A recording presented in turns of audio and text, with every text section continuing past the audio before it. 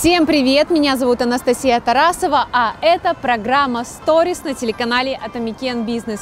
Каждую неделю наша команда находится в поиске интересных историй из мира современного искусства, креативных индустрий и городских активностей. И каждую неделю мы делимся с вами своими открытиями.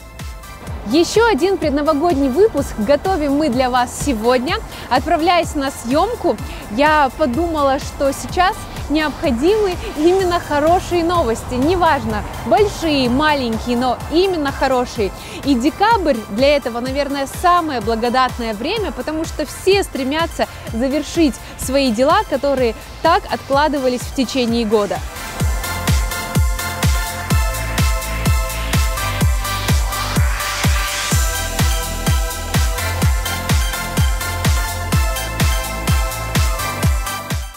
Только вчера, когда мы с семьей маялись, куда же отправиться в выходной день за новогодним настроением, то сегодня повод случился сам собой. В Алматы в центральном выставочном зале открылась выставка «Ретро-елка», где представлена уникальная коллекция елочных игрушек.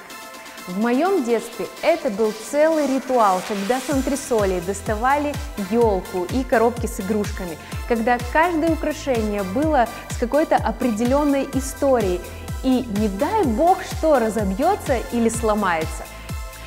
Уже потом елочное стекло заменил пластик и производство, но все еще есть люди, для которых елочная игрушка – это ценность, хобби и даже семейное дело. Давайте поближе познакомимся с коллекцией алматинской семьи Крупко, а расскажет нам об этом куратор выставки Татьяна Кожухова.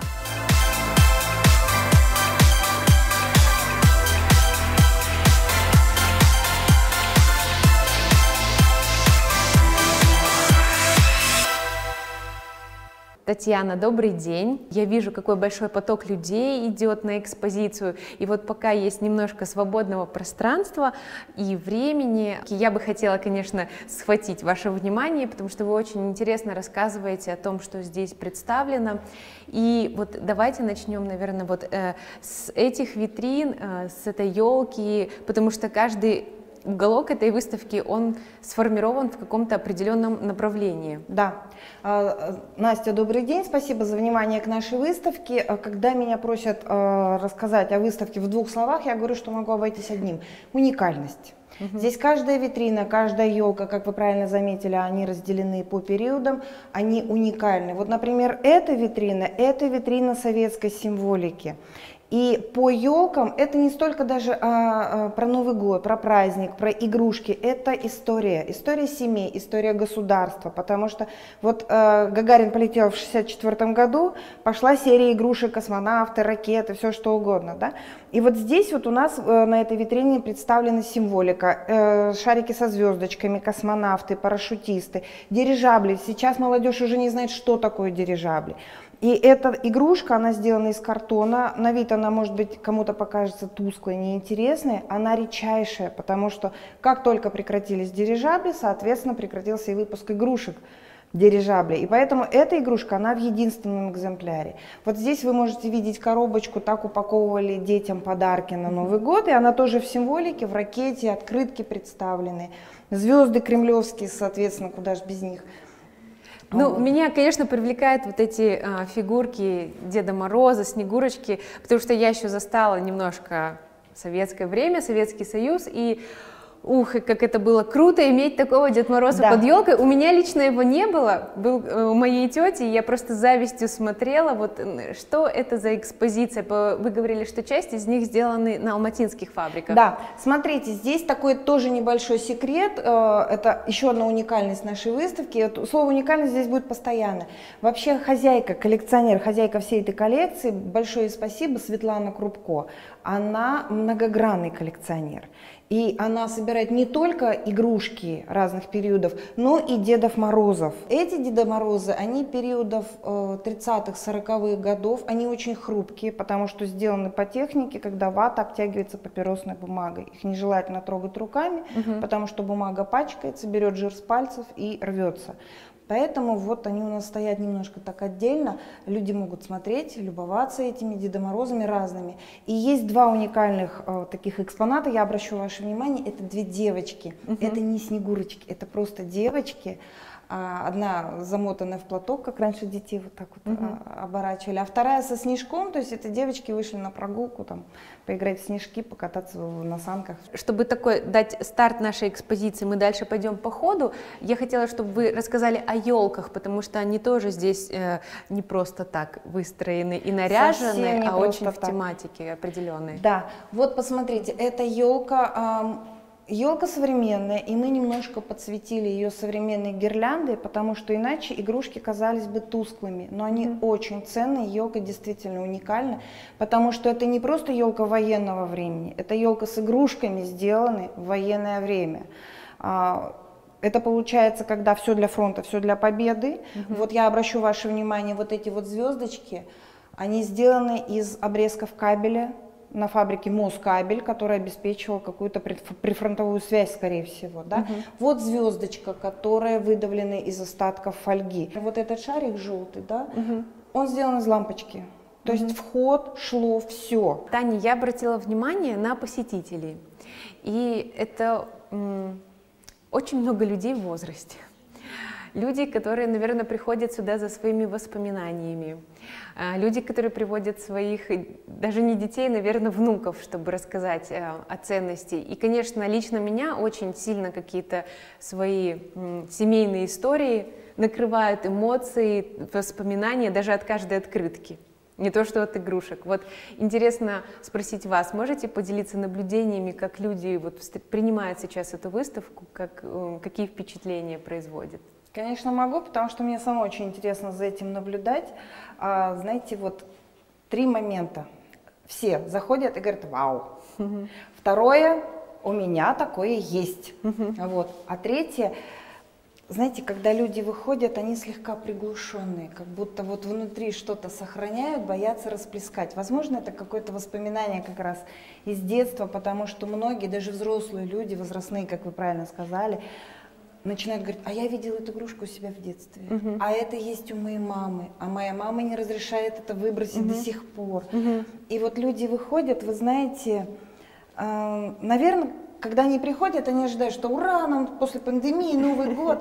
Выходят другие эмоции, они uh-huh. выходят Потому что это, это прикосновение к истории, это uh-huh. прикосновение к искусству, потому что это все произведение искусства. Uh-huh. И мне очень нравится, я поэтому каждого посетителя провожаю сюда, я очень люблю смотреть на вот, на вот это, когда у них загораются глаза, и они выходят, и знаете, потом приглушенно, боясь спугнуть вот это состояние, они благодарят. Да я просто сейчас понимаю, что мы все привыкли к тому, что Новый год это действительно такое какое-то шумный праздник, какой-то полный, не знаю, событий, там, новостей, всего-всего. А здесь э, как раз вот эта вот именно атмосфера личной тишины, она тебя неожиданно абсолютно захватывает. Нам кажется, что мы знаем про Новый год все. Угу. Оливье, ирония судьбы, ну что там, я лучше на Мальдивы съезжу, да, хоть, хоть какая-то экзотика. На самом деле нет. У самого праздника древние корни. Это своего рода был наурыз только осенью, праздник урожая, и деревцы украшали э, плодами, чтобы следующий год был плодородный.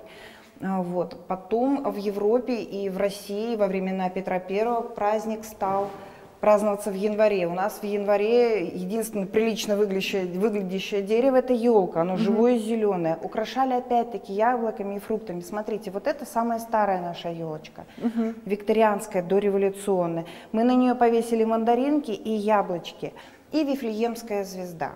Угу. Вот. Но после революции праздник стал считаться буржуазным пережитком, нежелательным. И с 28 по 35 годы в Советском Союзе Новый год был просто запрещен.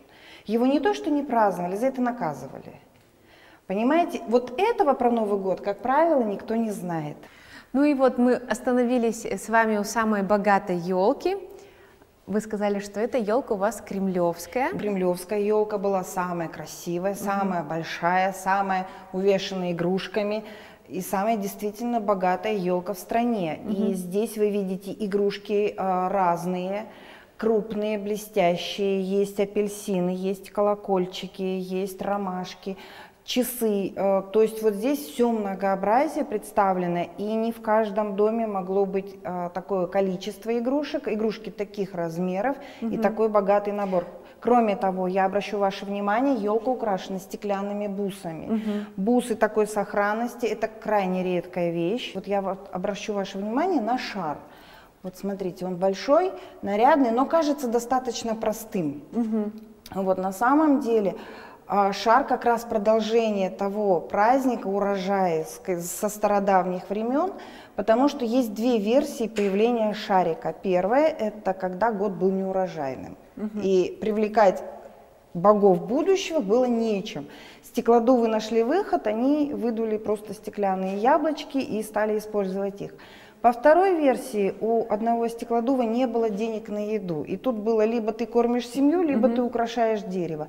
И он из того, что у него было под рукой, просто сделал яблочки. Еду семье, богам угу. яблочки стеклянные. И это настолько понравилось всем людям, что после этого артель немецкая э, стеклодувная стала делать шарики. То есть даже шарики, к которым мы привыкли, mm-hmm. они имеют свою какую-то историю. Я благодарю вас за такую мини-экскурсию для всех тех, кто, не знаю, не успевает посетить выставку или смотрит нас из других городов. Мне кажется, очень здорово вы передаете эмоции от каждой вещи, которая здесь находится, и действительно создается это настроение, и я понимаю, насколько каждая вещь содержит вот этот самый элемент счастья, за который мы все так бегаем в Новый год, и так бывает же, что праздник приходит, а ты не знаешь, где найти это праздничное настроение и за что зацепиться, мне кажется, ваша выставка абсолютный рецепт.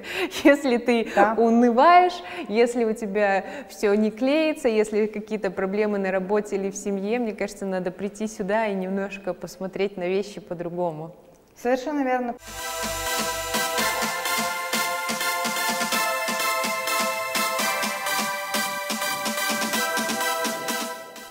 Ну что ж, оказавшись рядом с такой шикарной елкой, такой компании коллекционных Дедов Морозов, осталось самое правильное – это загадать желание. Конечно, не знаю, меня переполняют эмоции и желаний очень много. В первую очередь нужно хватать своих детей, во вторую своих родителей – и приводить их на выставку сюда, в центральный выставочный зал. До конца декабря будет идти эта замечательная экспозиция. И вот так, наверное, именно так нужно начинать подготовку к Новому году. Самого, что ни на есть, праздничного настроения. С вами была программа Stories, телеканала Томикен Бизнес. Меня зовут Анастасия Тарасова. Загадываю желание увидеться с вами через неделю. Пока!